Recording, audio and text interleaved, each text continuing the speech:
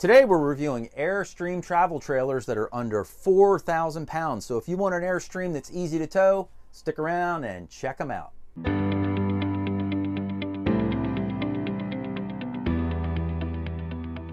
Hi everybody, Mike from RV Blogger here in front of the camera and Susan's behind the camera and today we're going to be taking a look at Airstream travel trailers that are under 4,000 pounds so they're easy to tow.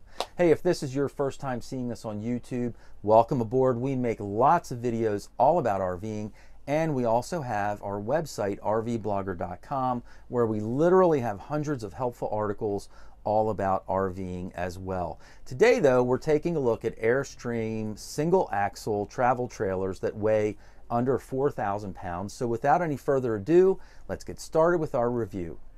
Welcome to Base Camp.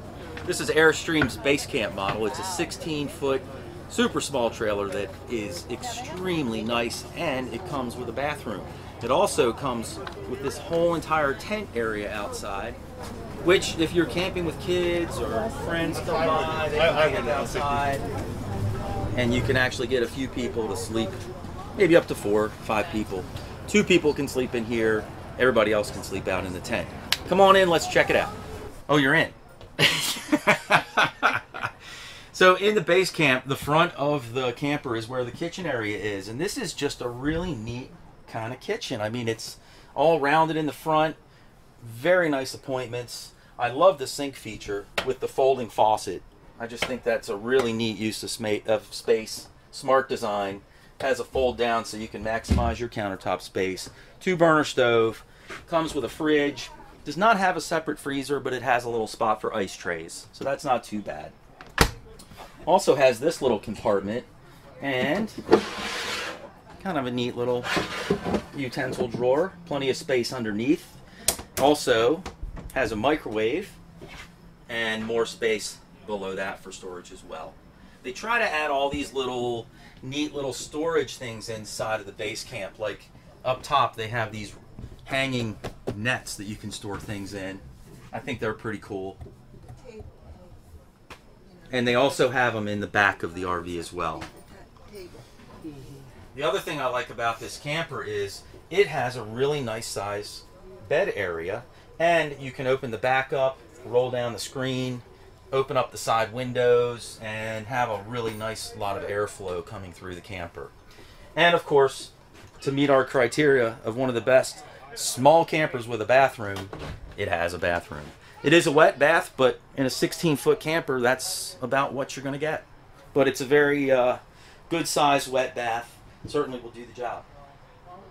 So here we are inside the Airstream Nest, and this is their only fiberglass model that they have. All the rest are aluminum. The Nest is about 16 feet long, and it comes in two different floor plans, but they're both 16 feet, and they both weigh around 3,300 pounds.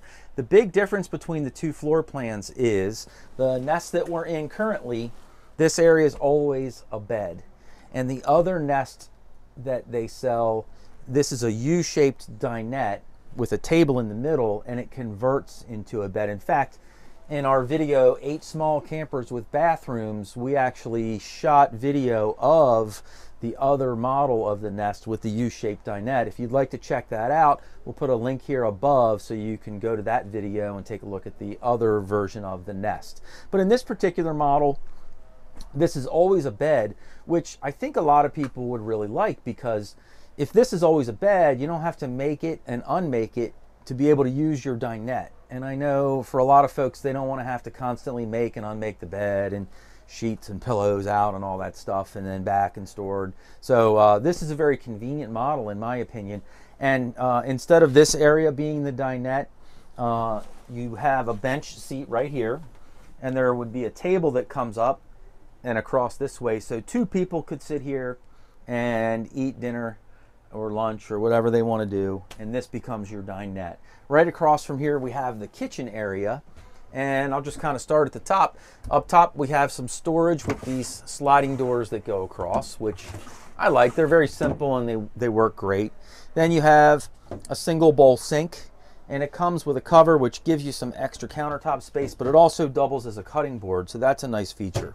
Also in here, we have a two burner propane stove. And then down below, plenty of storage space, nice deep cabinetry. And these drawers are full extension as well.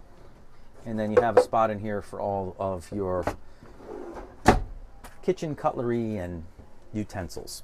So as we move towards the back of the nest and across from the kitchen sink and all that, you have your refrigerator located here.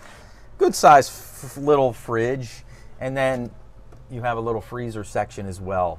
A little too small for me. I like to keep a lot of ice on board for the mixed drinks, so I might have a problem with this freezer. But anyway, that's just me. Below your refrigerator, you have a microwave, and then below that, you have some controls for all of your electricity. So right by the back door and across from the bathroom, you have a big closet that can be used as a wardrobe closet or just any kind of storage at all. It has a hanging bar up top, plenty of room down below, so you can store a lot of things in there. And then across from that is the wet bath. So let's take a look at that. Okay, so here we are inside the Nest wet bath. To the right of me, you have your shower head, mirror, shower control. To the left of me, you have your toilet. And then down below here, it's kind of an interesting spot for a medicine cabinet. And then inside of here, that's where your toilet paper roll would be. And it's got a cover on it to keep it dry. And then, of course, your medicine cabinet door, kind of double protection inside of here. So not a bad size wet bath at all. Uh, the ceiling height in here is actually pretty good. I'm 5'11", and I've got about five inches of space over my head. So decent size wet bath inside the nest.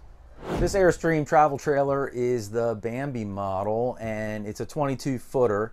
This uh, particular Bambi series actually has four different floor plans that range from 16 feet to 22 feet. And the 16 footers weigh around 3,500 pounds. The 22 footers weigh about 5,000 pounds empty. And then you can load your stuff in there on top of all that. Uh, but we like this particular 22 foot floor plan the best, and we'll show you why as we work our way through this travel trailer. But right now, I'm sort of in the kitchen and living area of this Bambi 22 footer. And I like the kitchen here. It's a nice inline kitchen layout. Um, good size kitchen sink. It's a double bowl sink. It's got a standard residential faucet on here. I think I would like to have a gooseneck better, but hey, this works just the same. Um, and then you have a two burner propane stove with the microwave oven located down below it. There's also storage underneath the kitchen sink and underneath the microwave as well. And there's no real drawer for kitchen knives and stuff, but they have a little drawer built in here, but it's really difficult to get out because the plumbing pipe's in the way. It's kind of a kind of an odd setup. You have to put it in at the right angle. But anyway, not a terrible setup altogether. Then you have more storage over top. And I, I like these doors, you know, they're just very simple, but they're never going to break. You don't have to worry about latches breaking or anything like that. It just, it just works and it always will. Um, moving over in the kitchen area, it's got a small refrigerator in here and there's no separate freezer, but it does have a place up top for ice trays. So right across from the kitchen, you have this nice U-shaped dinette, which also converts into a bed. It's a good sized dinette. The table moves and swivels all different directions, so you can make the most of that area as well. And then at the front end of the camper, it's got a queen size bed, some storage over top, and there's a little more storage at one end of the bed as well. It sort of tucks down beside it. When you first walk inside the Bambi, there's a little space right here on the floor where you can kick your shoes underneath the, the dinette bench. So good little uh, storage spot there. And straight ahead, you've got this big, gigantic wardrobe closet. So it's got a shelf on top, and then it's got plenty of room underneath with a bar to hang clothes, jackets, all that fun stuff. So uh, pretty good setup. Now this is our favorite part of the Bambi model, and that is at the rear of this trailer is the bathroom. And it's a really, really great size bathroom. I mean, it's the whole width of the trailer. I'll hop in the shower here. So inside this shower, there's plenty of elbow room in here. I mean, I can move all around, be very easy to take a shower. Headroom wise, I'm 5'11". If you're six feet or taller, you know, it'll be a little bit tight in here for you. But what I really like is that this fiberglass goes all the way around to the ceiling, all the way down to the floor. It's really maintenance free and easy to take care of. There's a little seat here at the back end of the shower. So just a nice, really nice setup for the shower back here. Now we'll take a look at the vanity and the commode area. So the rest of the bathroom is really big as well. I mean, I'm sitting here on the commode, plenty of elbow room. Uh, you have a nice sized vanity top and cabinet space down below, so plenty of storage space there. Your TP holder is actually inside the cabinet door. That's a great spot for it. And then you have storage off to the right hand side. You can keep your toilet chemicals, toilet paper, whatnot under here. Uh, so all in all, a really good sized bathroom. Now, it also has a window here in the bathroom, which is a little bit unusual. And there's no mirror here, but it has this fold out mirror. So you can take advantage of that, take a look at yourself in the morning, or in my case, not. Here we are inside the Airstream Caravel. This is the 16RB model, which means it's 16 feet long and it weighs in at about 3,200 pounds. There are four different floor plans that you can get with the Caravel, and they range from 16 feet at 3,200 pounds, which is what we're in, up to 22 feet and right around 4,200 pounds. So a wide variety to choose from, and uh, I'm sure you can find a floor plan that you'll like. This particular one is the smallest one, but it's a very efficient travel trailer. When you first walk in from the door outside, you've got your dinette area, and this dinette will also convert into a bed. I think that two could, kids could sleep here, you know, really pretty easily. Uh, two smaller kids, anyway. And you know, you've got plenty of storage up top as well. The kitchen area in the Caravel is very compact but efficient as well. You've got some storage space above. I really like these sliding doors. They're very easy and convenient to operate. Nice range hood, two burner propane stove, you know, decent size but not very deep single bowl sink. And then below your stove top, you have your refrigerator, and then you also have your microwave down below as well. So here I am inside the wet bath shower of the Caravel model.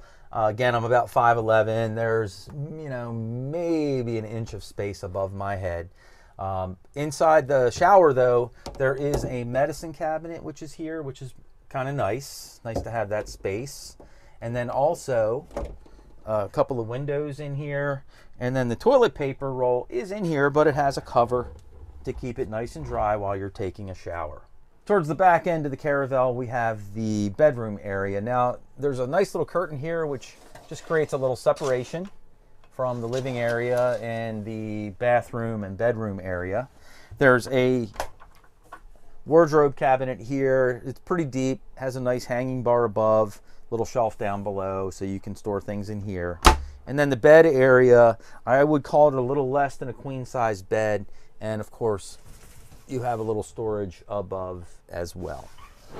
Let us know which Airstream floor plan you like the best in the comments down below. We'd love to hear what you think, and we hope you enjoyed checking out these Airstreams. And by the way, speaking of check it out, if you'd like to check out some of our other YouTube videos, just click right here on one of these videos and you can check them out. Remember to subscribe to our channel when you do and hit the notification bell so that you'll be notified every week when we release a brand new YouTube video. So for Mike and Susan, thanks for watching and we'll see you next time.